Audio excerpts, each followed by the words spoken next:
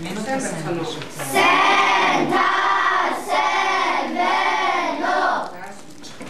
Хичээл орё өнөөдөр бид нар хичээлээ 3 баг болгон хоосон байгаа. Одоо баг бүрийн гишүүн хоорондоо 1 минутын зөвлөлтөд багийнхаа хичээл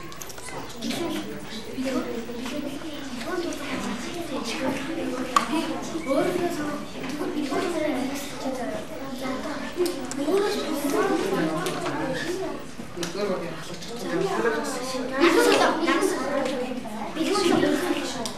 энэ юм биш. Тусаад байна. За тэгвэл нараа. За. Ивтэй за гохорога хийzээ. Бага чинь а багт үж байгаа даалгаврыг зохион байгуулж хоорондоо ярилцаж гүйцэтгэх шүү заяа. За хичээлийн өмнө багш нь өмнөх хичээлүүдээс нь юм асуулт математикийн хичээлээр бид нар өнцгийн тухай дөрөвдүгээр ангидаа үзсэн ямар ямар өнцөг байдаг вэ багштай санаж байгаа хүүхд хэлээд өгөөрэй. Өнцөг. За тэгш өнцөг гэж байдаг өөр. Хоо өнцөг, хууч өнцөг. Өөр. Дээдэг үлээсэн. За багш нь тавчхан тавчхын дүгээр биччихье. Хууч өнцөг одоо та нар хэмжээг нь бодоод сууж байгаа багштай хэлж өгөн заяа. Хууч өнцөг.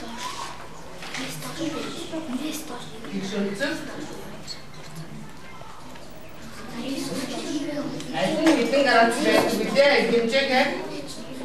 За санц хүүхдээ багштай хэлээ. За сайн байна зөө. Мөн гэнэ. За өгшөө.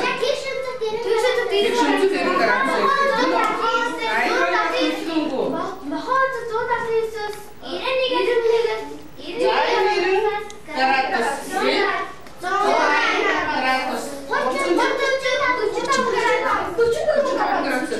Өөр гэж болохгүй юу?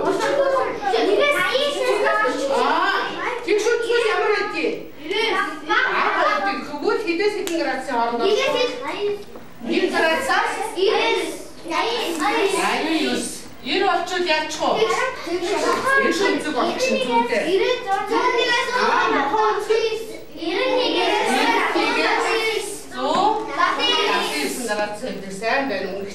мартаг байгаад нь баярлалаа. За тэгвэл өнцөг ийм дөрвөн янз байдаг. За өнцгийн тухай бид нар энэ мэдэн тийм ээ. Одоо багш нэг цээж тоол хэлье бодоод багшлаа гүн төрүүлж оцсон гараа өгөөрэй. А тэгш өнцгийг нэг нь нөгөөгөөс хоёр дахин их байх хоёр өнцөг цуваа. Хэд хэдэн градусын өнцөг үүссэн бэ? За цаана Миний бодлоор арай биш үү? Тэгш өнцгийг нэг нь нөгөөгөөс хоёр дахин их байх хоёр өнцөг цуваа. За жамбас дор. За өөр санал хэлэх юм бэ энэ бодол зөв буруу яаж бодох вэ? Багш нь ямар өнцгийг хуваасан гэлээ? Тэгш өнцгийг тэгш өнцгийн градус хэд байдгийг? Хөдөлгөөн 90 градус байдаг. Тэгш өнцгийг нэг нь нөгөөгөөс хоёр дахин их байх. Хоёр дахин их байх гэхээр уг 90 градусын өнцөг маань хэдэн тэнцвэршигт хуваагдах вэ? 3 тэнцвэршигт хуваагдаж шүү дээ. 90 градусыг 3 хуваахаар 30 градус. Нөгөөх нь хоёр дахин их юм чинь 60 градус. Яа жоохон төвдрээд энэ энийгээ мэдж байгаа юм чинь 3 хуваагаар баг өнцгөө гаргаад байгаа юм шүү дээ тийм ээ. За 60 градус 30 градус гэсэн хоёр өнцөг үүслээ. Үүссэн хоёр өнцөг ямар өнцөг вэ? Хурц өнцөг. Хоёулаа хурц өнцөг тийм үү? За. За тэгвэл одоо багш нь дараагийн ажилд оръё. Аа нэг шулуун дээр оршихгүй гурван цэгийг холбоол ямар дүрс үүсэх вэ? Ямар дүрс үүсэх вэ? Хэлж хэлж гурвалжин гурвалжин гурвалжин яагаад? Яа тэгвэл нөгөө гурван өнцөгтэй Аа, гурван цэгийг холбохоор ямар дүрс үүсээд вэ? Гурван холбосон хэрчим чинь гурван халыг үүсгэн нөгөө гурван цэг дээр чинь юу үүсэх вэ? Гурван өнцөг орой гурван өнцөг үүснэ тийм үү? Хоёр шулууны дунд нэг өнцөг үүсдэг шүү дээ тийм ээ? Тэгэхээр гурван цэгийг холбоход гурвалжин дүрс үүсгэнэ. За гурвалжин хэдийн янз байдаг вэ? Багш нар бас хэлж өгөх бэлдээ дотроо бодоод сууж байгаа. Ай гороо тэмнэ. Боо. Боо.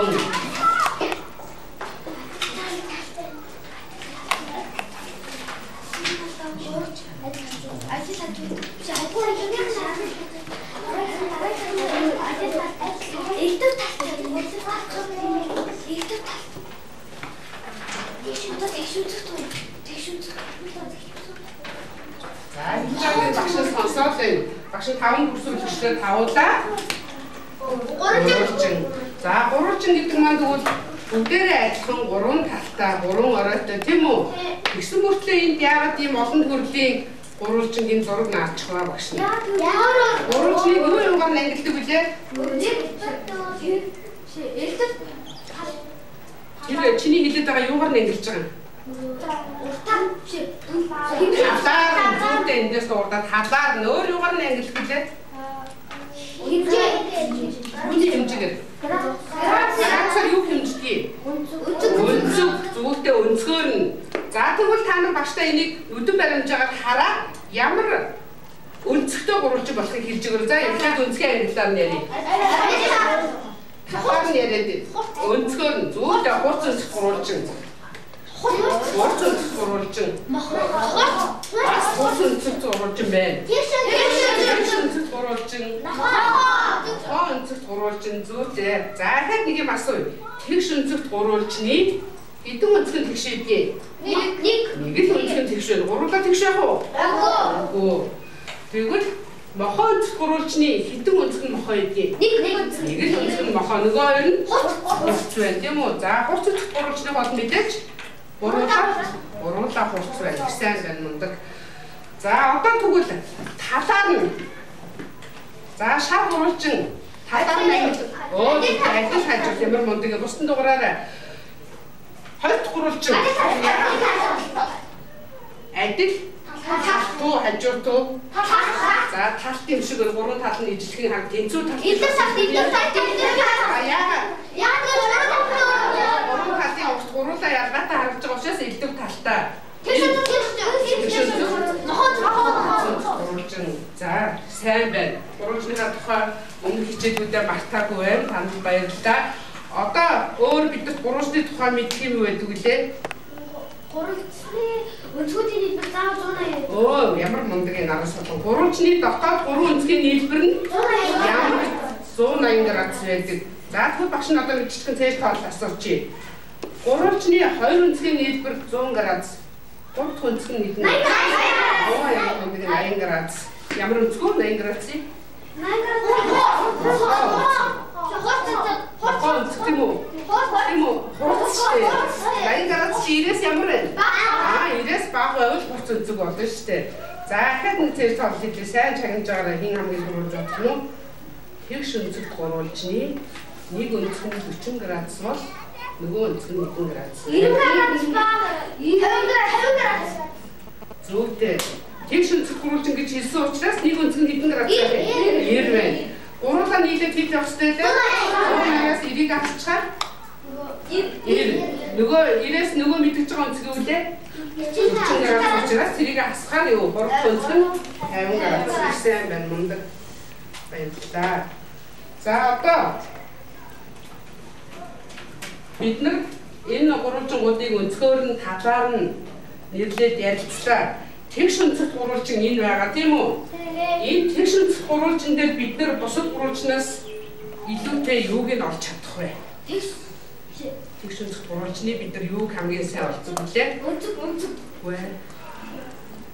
нэг талыг Тэгш өнцөг үүсгэж байгаа хоёр талын хэмжээ байвал зүйтэй бэлгүүн тулга байрлалаа талбайг нь бид нар тэгш өнцөг гурвалжны талбай олж чаддаг тийм ээ?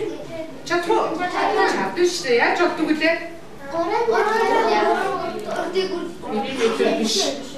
Талбай.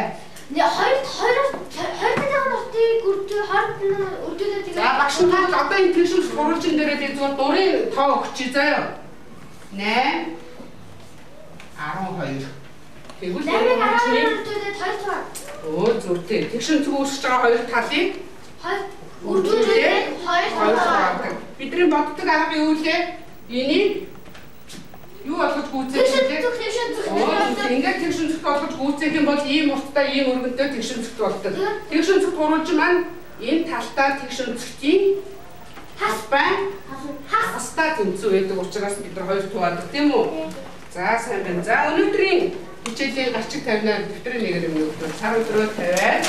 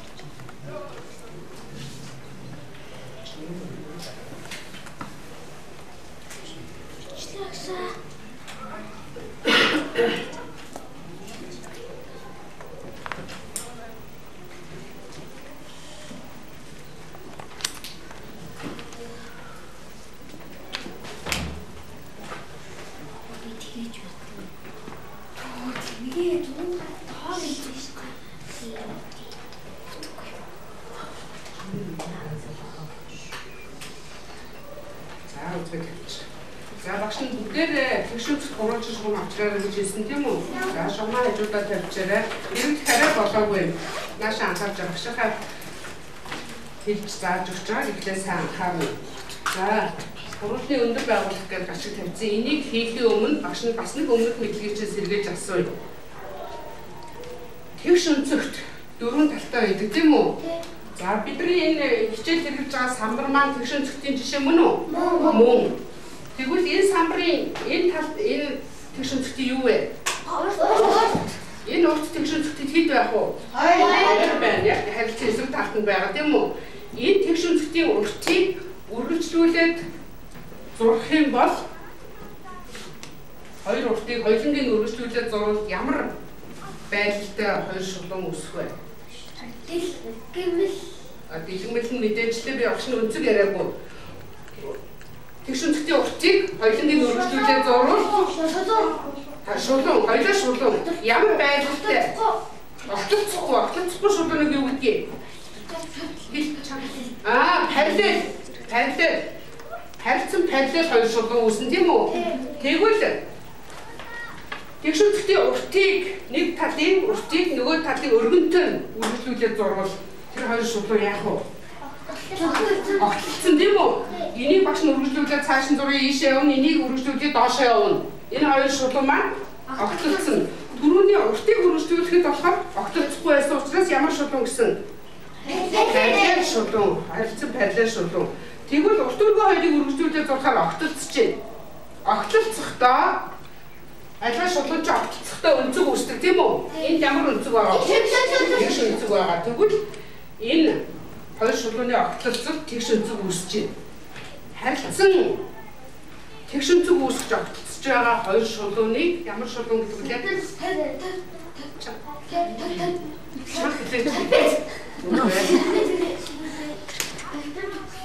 Тэгш өнцөг перпендикуляр. Сүүл маш сайн байна. Хилээр багшаад байгаа перпендикуляр. Перпендикуляр. Тэгш өнцгтийн өтөргөө хоёрыг үргэлжлүүлээд зурхад тэгш өнцөг үүсгэж огтлцсон тийм үү? Тэгш өнцөг үүсгэж огтлцож байгаа хоёр шулууныг харилцан перпендикуляр шулуун гэнэ. Харилцан перпендикуляр. Энэ перпендикуляр шулуун маань огтлцолтой заавал ямар өнцөг үүсгдэг байх нь вэ? Тэгш өнцөг үүсгдэг байх. За энийг бид нар өнөөдрийнхээ хичээлд ашигланаа.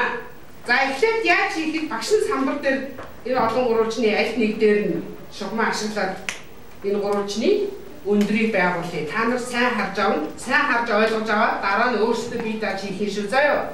За энэ гурвалжны энэ тэгш өнцөг тийм ээ. Энийг ашиглана. Тэгш өнцгийн тэгш өнцөг үүсгэж байгаа хоёр талыг үргэлжлүүлээд зурвал перпендикуляр шулуун тийм ээ энэ хоёр чинь харилцан перпендикуляр шулуун. За аль гурвалжин дээр авах вэ? За энэ дээр авъя. Гурвалжин гурван талтай гурван оройтой. Тэгвэл аль нэг оройгоос эсрэг орших тал руу перпендикуляр шулуун татъя. За тэгэхээр перпендикуляр гэхээр багш нь энэ ороогоос татъя. Энэ ороогоос энэ тал руу татах юм уу? Энэ тал руу перпендикуляр энэ чинь ийм байгаа учраас энэ перпендикуляр гэхээр энэтэй яах нь вэ? Тэгшин зүг үсэг огтлцох шулуун татах нь дээ. Энийхээ тэгшин зүг үсэх талыг ашиглана. За тэгшин зүг үсгэж байгаа нэг талыг гурвалжныхаа суурьтай давхцууллаа. Нөгөө талыг яах вэ? Гурвалжны оройтой холбоно. За ингээд татлаа. Ингээд энэ хоёр шулуун харилцан перпендикуляр мөн үү? Мөн. За тэгвэл нөгөө оройнуудаас бас ингэж татаж болох уу? Болно. Болно. Энэ оройгоос энэ эсрэг орших тал руу, энэ оройгоос энэ эсрэг орших тал руу. За тэгвэл сая багшихаа хийснийг ойлгосон бол гурвалжны аль нэг оройгоос эсрэг талын эсрэг тал руу перпендикуляр шулуун татахад энэ хоёрт ямар үнцэг үүсэж байна? Тэгш тэгш. Тэгш үнцэг үүсгэж байгаа. Энийг тухайн гурвалжны өндөр гэдэг. За багш нь энэ гурвалжны өндөрийг байгууллаа. Одоо та нар сургуульчгийнхаа 55 дахь хуудсыг нээгээд харандаа шугамаа бариа. За энэ сая бидний ярьсан хичээл байж байгаа. За 20 дахь асуулын А дээр гурвалжны өндрийг татчихсан байгаа. Б төсөндөө одоо бүгдээрээ өндөр буулгана, өндөр татна. Өндрийг байгуулна. Харандаа тэгшүүс гурвалж хоёроо шугам хоёроо бариад хүн бүр өөртөө ном дээр шууд ажиллаж харандаа уучраасаа энэ төсөндөө өндөр За гурвалж тэгшүүс гурвалж шугам яаж хэлхийг багш нь зааж өгсөн шүү дээ. Тагуулч дуруу бариад тийм. Чек энэ бас татчих чам энэ энэ оройгоос энэ оройгоос юм бол чи яг энэ тэгшүүн үүсгэж байгаа юм ашиглаж шүү. Дээ. Энэ талаа энэ оройгоо татуулаад энэ талыг сүлдээд авах яг гоо. Эсвэл шогон чи хийж нэх. Чи тэгшүүн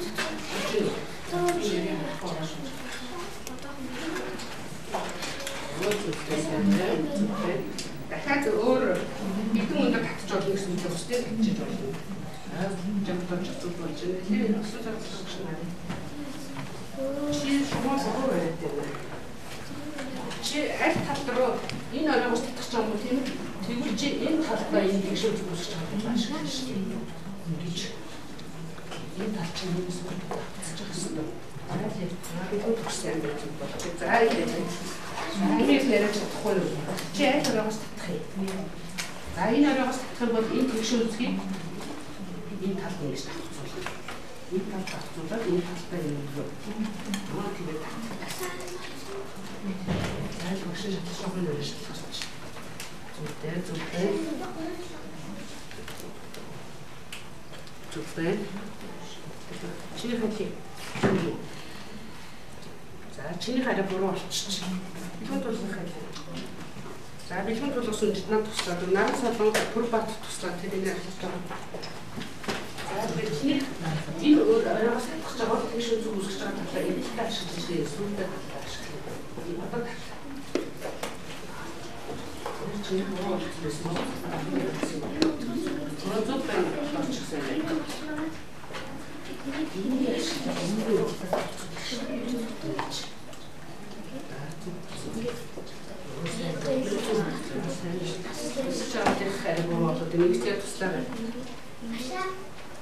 Энэ охин баяр зургаар туслаад тэрийг тассан. Аа чи юу тассан. За үдэж гарах тасчих болох гэдэг нь. Тассан. Тассан.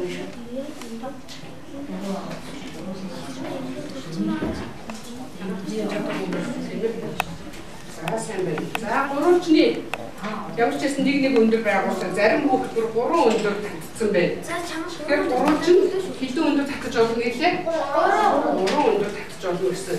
Тэгээ зарим нэг бүгд нөр шугамаа яаж ашиглахаа мэдэхгүй дахиад наашаа харж багш нь заагаад үгүй. Тэг шүнцэд гурван шугамынхаа өндөр татах гэж байгаа тэр өндөртөө өндөр суур хоёрлуугаа яах нь энэ тэгшүүн цагт үүсгэж байгаа талаа авцуулах байхгүй юу? Одоо энэ гурвалжин дээр өндөр татыг үл энэ цагт гурвалжныхаа энэ талаас ч байсан болно шүү дээ ингээд. Тэгшүүн цагт үүсгэж нэг талаа оройтойгоо давцуулаад нөгөө талаа эсрэг орших суурьтайгаа талтайгаа давцуулж байгаа. Тэгээд энэ татхад яг уу өндөр үүснэ. Ажил тараас нь татаж болж байгаа үү тийм үү? За дахиад маш харж байгаа багш нөгөө талд нь энэ оройгоос хэрвээ өндөр татыг гэвэл яг уу энэ тал руу татчих шүү тийм үү? За ингээд энэ талыгаа давцуулаад ийшээгээ оройтойгоо давцуулахад ингэж За. Одоо багштай ойлгосноор тайлбарлаад яа. Гурвалжны өндөр гэж юу хэлээд байна? Ойлгосноор ихтэй багштай. Сая татсан мөлий. Аль нэг оройгоос эсрэг тал руу Одруугаа гэхгүй эсрэг тал руу ямар шулуун блэ? Перпендикуляр. Перпендикуляр гэдэг чинь тэр татсан шулуун чинь хоёр талдаа ямар өнцөг үүсгэж явах хэрэгтэй лээ? Тэгш өнцөг үүсгэж явах хэрэгтэй. Тэгш өнцөг үүсгэж явах хэрэгтэй.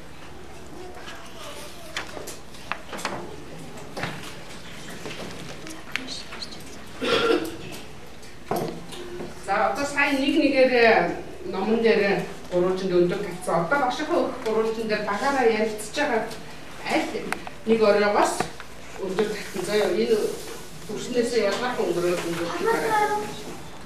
Тийм.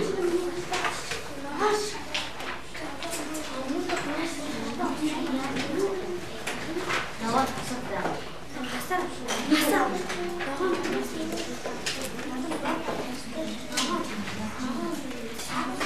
За шугам багтчихвэл башаага шугам гэж бодож байна. Шугам багтдаг юм. Хамгийн гол нь давтах хэрэгтэй шүү дээ. Өө зүйлээ өргөжлүүлээд татчих жоо шүү дээ. Энийг ингэж өгөх. Өөр өнгөөр ядрах өнгөөр гэсэн чинь байна. Өөр өнгөөр.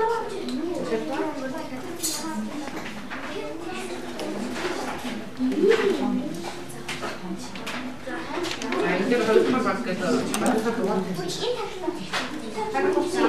Нэг юм доо. Багна татсан уу? Тийм. Аа, тийм.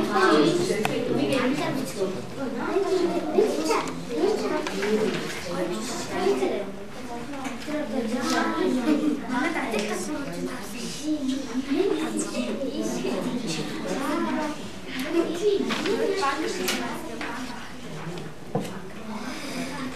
Энэ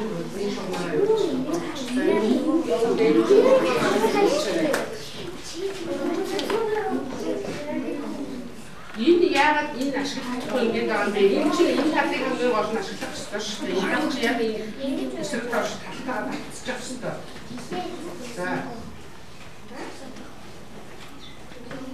Энэ дээр нэгдүгээр багтаа тавьчих. За тэгээд дараагийн даалгавар сонсороо. Татсан өндөр а өндөр бууж байгаа тал хоёрынхоо өртгийг хэмжээд бас тавьчих. Уртыг хэмжээ. Татсан өндрөө өндөр буусан талын тавтдаг. 15 см.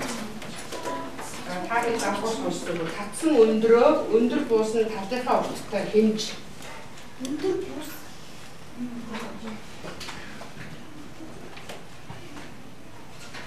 Аль нэг оройгоос өндөр татж байгаа тийм үү? Тэр оройгоос татсан өндөр чинь эсрэг орших тал дээрээ бууж байгаа шүү дээ. Тэр бууж байгаа талынхаа уртыг бас хэмжээ гэсэн. Миний шугам.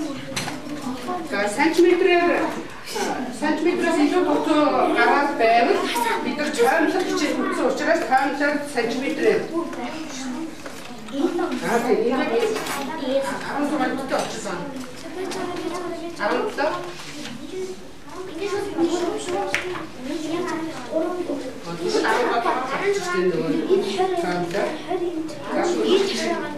нөгөө суурэ бас юм чи.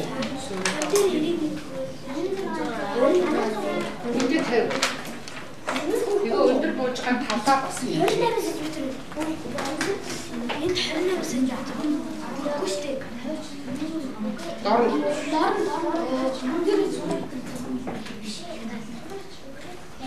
Чи ингэ буруу харагдаж байна. хэмжээ хэмжээгээр бас өөр өнгөөр тавиана.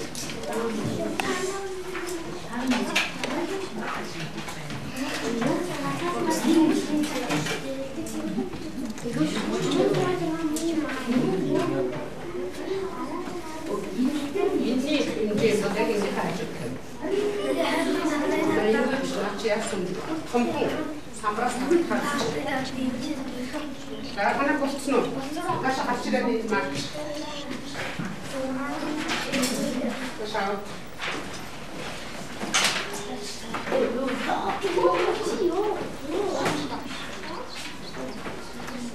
За нөхөр өгөө байсан. За одоо суурай.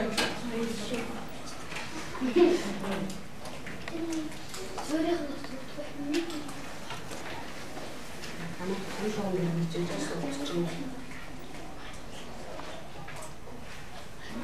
Бидүү тавшиг өччих.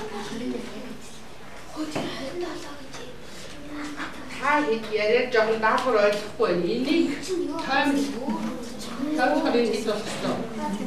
Нүүр. Алтар биш. Игжээрээ тайм. Бидүү.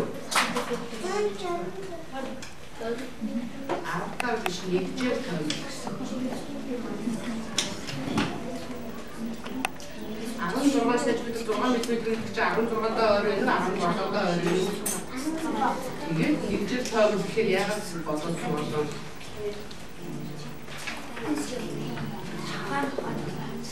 За одоо зарим нь хоорондоо жоохон яриад багшгаа даалгавар дутуу ойлгоод байна. Одоо бүгд анхаарч байгаарай. За нэгдүгээр багийн энэ энэ оройгоос 17 см-тэй өндөр татсан. Суурийн урт нь хэд гэж байна? 28. Хоёрдугаар багийн 15 28 17 27. За энэ та нарын татсан өндөр тус бүр уг гурвалжныг хоёр ямар гурвалжин болгож хуваасан? Хоёр. Тэнцүү юу? Тэнцүү хоёр. Хоёр хоёр Хоёр уу чи тийш. Элбэг түгтэр шулуун маань огцсон доо хэдэн градусын өнцөг үүсгдэг гэлээ? 90 градусын тэгш өнцөг үүсгдэг гэсэн. Тэгвэл энэ өнцөг тэгш мөн үү? Мөн таан шалгасан шүү дээ. Та нарын татсан өндрөөд уг гурвалжныг хоёр Тэнцүү тэгш өнцөг. Гурвалжин болгох байж шүү дээ. Тийм ээ? Хоёр тэгш өнцөг гурвалжин болгох байж. Тэгш өнцөг гурвалжин болчихсон тохиолдолд бид нар талбайг олж чадах уу? Чадна шүү дээ. Чадна. Гэхдээ та нар яг нөгөө энийг бодож исэн өмнөх мэдлэгээ ашиглана гэвэл энэ дээр одоо шууд бодолт хийж чадхаар байна уу? Чадхаар.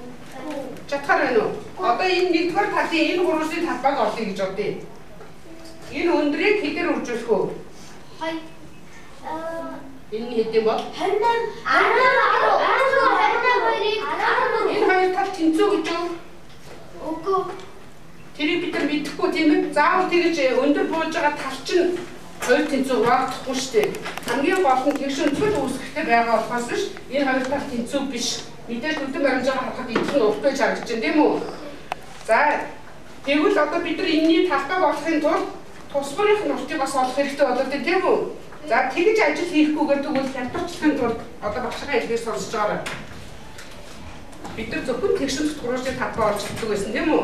Тэгвэл өндөр маань тухайн гурвалжныг хоёр тэгшин tutгуурчин болгон хувааж байгаа учраас уг гурвалжны өндрийг үзэж авлаа. Өндрийг өндөр бууж байгаа талын уртаар үржүүлээ. Хоёр хуваахад уг гурвалжны талбай гарна. Энэ та нарын татсан энэ шулуунууд юу вэ? Уг гурвалжны өндөр өндөр бууж байгаа тал нь өндөр бууж байгаа талыг суур гэж нэрлэнэ. Одоо энэс хойш заяа өндөр бууж байгаа талыг суур. Хэрвээ энэ оройгоос өндөр татвал суур нь алуу? Эсвэл орших тал тийм үү энэ? Энэ оройгоос өндөр татвал суур нь эсвэл орших тал. Тухайн оройгоос аль оройгоос өндөр татчин түүний эсвэл орших тал нь гурвалжны суур. Суур. За дэвтрээ нээгээд багшихаа хэлснийг ашиглаад баг бүрийнхаа хэмжсэн гурвалжны талбай болно. За багш сая томьёог хэлчихсэн тийм ээ? 15. За энэ томьёогоо тавьчих тань ашиглаж болно. За өндрийг ааш үсгээр тэмдэглэдэг. Суурийн уртыг жижиг аагаар тэмдэглэнэ. За тэгэхээр тэнд өсгийн оронд олох тоо гад тус бүрийн чинь хэмжиж орсон тоо байж байгаа тийм үү? За дэвтэр дээр бодлогоо хийж. Гурваар огийн энэ өндөр нь 17 см, суурийн урт нь 25 см.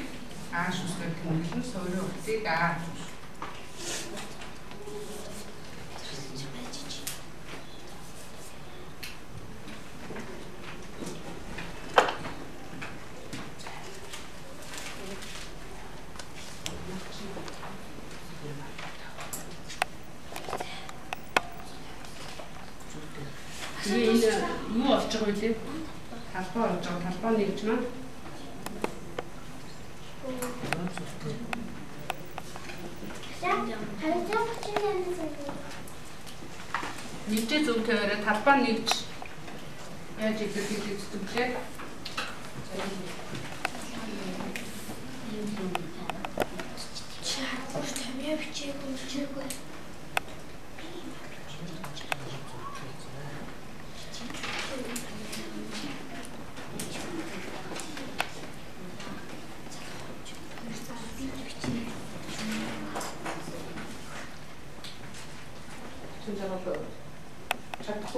хөлтөө хараа зааж юм.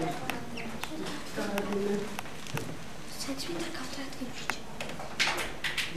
Ойролцоо хөндөхгүй нэг автар томччихсэн po. Автар томччих. Бүл үтсэн мэдгийг мэдлээ хэрэгтэй үед нь дандаа ашиглана шүү дээ. За настай яа.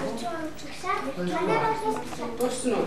За багаж бас бас түүхтүүдээ шалгаараа таарч байна. Нэрийн зөв бичүүлээрээ хасарны квадрат гэж таниугүй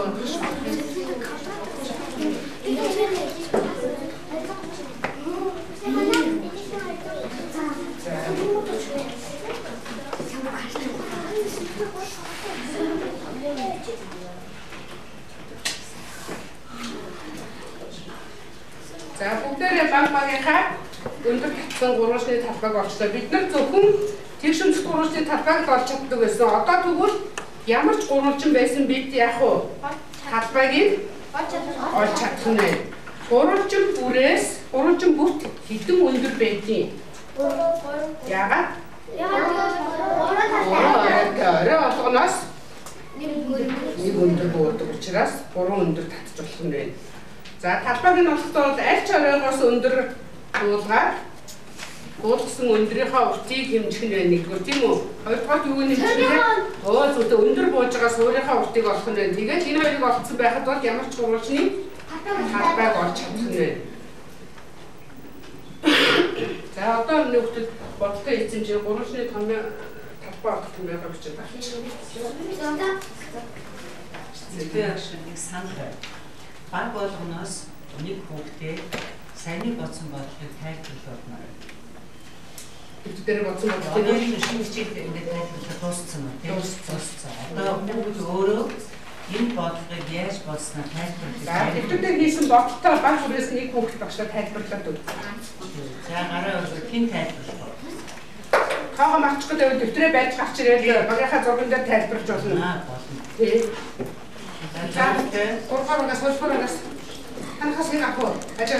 тэгвэл Гурваагаас хөлбөрөөс танахаас нэг авах. Ажи гацмал бол багийн авчирч хараад байгаа. Түн зэрэг наран суулган нэг цаа. энэ энэ хоёр хүүхдүүд их идэвхтэй оролцсон. Одоо бусдын оролцох хэрэгтэй шиг байна. За. За хөлбөр нэг ийм зурган дээр тайлбарлаа. Би энэ гурвын тухайг ингэж олсон юм. За бус нь харж байгаа. Чанга Сойрын уртыг юу лээ? өндөр Эхлээд яасан? Өндрийн уртаа үржүүлээд хоёр тагаараа тавтайг олсон. За зүгт ингэ болоо. За ихтэй За. Ер нь жоон чанга тайлбарлаж болно. Эхлээд талбайн өндрөө тэр перпендикуляр шулуун давтаж өндрөө яасан? Авсан тий. Дараа нь өндрөө хэмжсэн. Дараа нь суурэ хэмжсэн. Тэгэн шиг юм. За. за За ихтэй ингэсэн. чанга Сойрын сойрын уртыг өндөртэй үзүүлээд хоёр тоо. За болно. Их их цаа болно. За чи. Манайхаа зэрэг хамтыг өндөр тоо. Өндөр үзүүлээд хоёр тоо. За. За яа энийг энэ гурвын талбайг олохын тулд чи хамгийн эхлээд юу хийсэн бэлээ багш нь зүгээр гурвын зураг өгсөн. Танаа багийн юу хийсэн? Хэмжээг Бидний нэг юу самбар дээр бичиж хэрэгтэй. Аа за. А наад ногооны татсан шулуун чинь танаа гурвын юу юм? Аа өндрөө байгуулсан. Өндрөө байгуулсан. За одоо огт дуурдгүй, огт дуураагүй 2 3 гарч ирнэ. За. Гурван пастор замын. Гурван пастор амьд насаа. За бүр патрын нэг самуудаа гараад явсан Сингапур. Сайн гэдэг бол тусаасан. Зүгээр. Одоо энэ энийг. Босооч. За гараад видео яах вэ? За.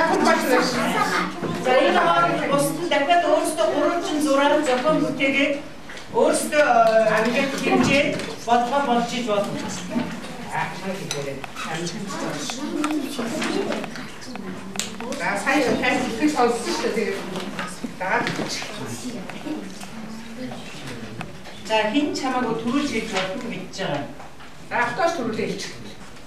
Өвчнийхээ өндрөө өөрийнхөө уцтайгаа Төрүүлээ. Аа Оо, за. сайн байна. За за ингэж хэлчих бүр байна. Тэр нэг гоо. Хамтдаа. За хүн үс. Аа, Өндөр. Аа. Исуунийхаа уцтайг үзүүлээд хоёр тоо. Аа сайн байна.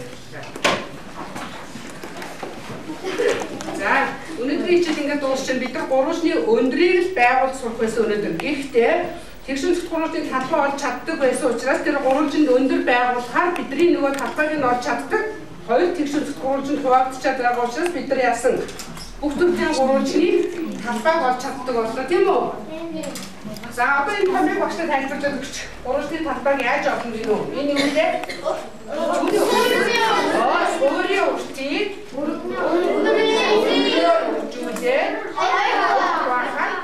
Хан гурвчны талбайг олох нэ. Одоо ямар ч гурвчны талбайг олж чаддаг боллоо тийм үү? За хичээл тэтгэвтэй оролцсон та бүхэн баярлалаа. Даахаа тэмдэглэнэ. Сургалтын 22. Сургалтын номер 22. Сайн таньд одоо үзэл бид ажилласан шүү дээ.